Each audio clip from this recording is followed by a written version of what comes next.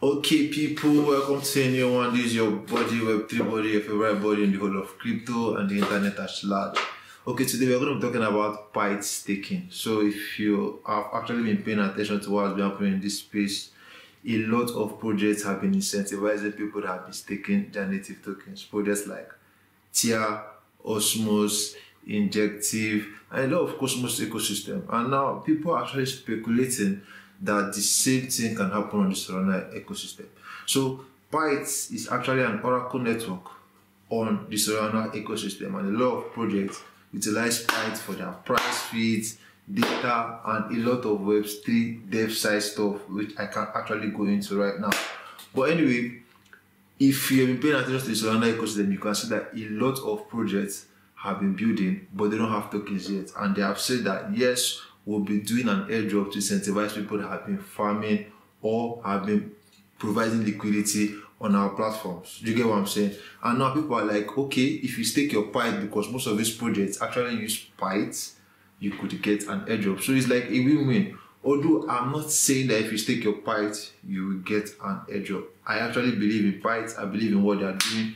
I look at PITE similar to Link, and I feel like Link did well in the last bull run. Link is like to what Link is to Ethereum is what Pyth is to Solana. So I feel like if Solana is gonna do well, just like a lot of people are actually paying attention to it, then Pyth will do very well. So if you wanna know how to stake your Pyth, probably for some airdrop in the future, or if not and you believe in Pyth just like me, then let's get into the video and let me show you how to do it.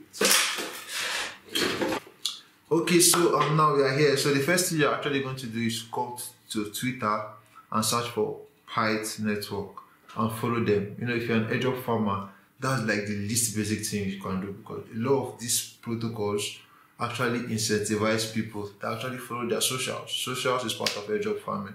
So just try and follow them and also read up some stuff. Don't just believe everything you see on YouTube or believe everything an influencer says. Read up for yourself. Understand why people are actually investing in these pro- projects by yourself. You are in crypto for goodness sake. Do your own research. We always say do your own research.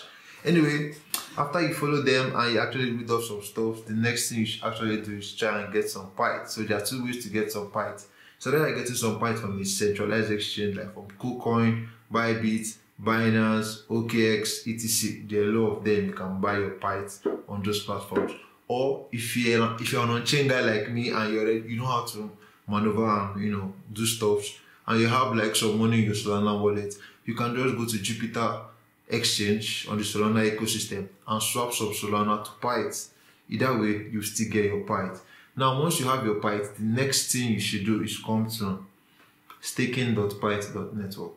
That's where you're actually going to stake your Pyth.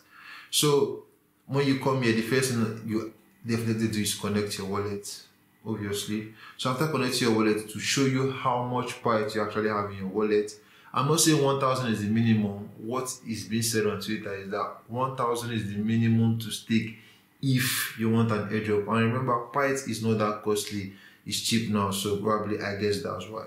So once you connect your wallet, it shows how much you have, and the next thing you click on is amount of Pyth tokens you want to stake. Click on it and just stake it.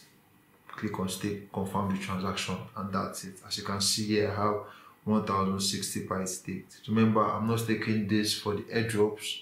If an airdrop comes, fine. I'm staking this because I actually believe in this particular project long term. Just like I said earlier, because of what they actually do, which is also advisable to read up on.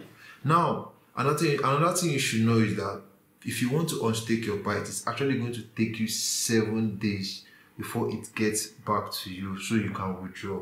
So you should know all this before you actually stake your Pyth. Once you stake it, it starts counting from a Thursday. So it should be like if you stake it today, you have to wait Thursday, then you count Thursday, Friday, Saturday, Sunday, Monday, Tuesday, Wednesday. That is when you can actually unstake it. That's if you want. And you have to wait for another seven days for your tokens to get to you before you can be able to withdraw them. So if you feel like the risk is worth it and you have actually made your own research, not just believing everything you hear, but you have made your own due research and you're like, okay, yeah, you're comfortable with staking this.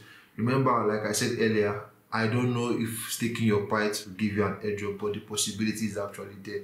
So anyway, you have to actually make your choice right now. So this is the end of this video. Please, if you like stuff like this, give us a like on this video. It actually helps the algorithm and helps this channel grow. And also don't forget to subscribe because uh, like I said in one of my videos, I've noticed that people that actually watch videos on these channels are not actually subscribed to it.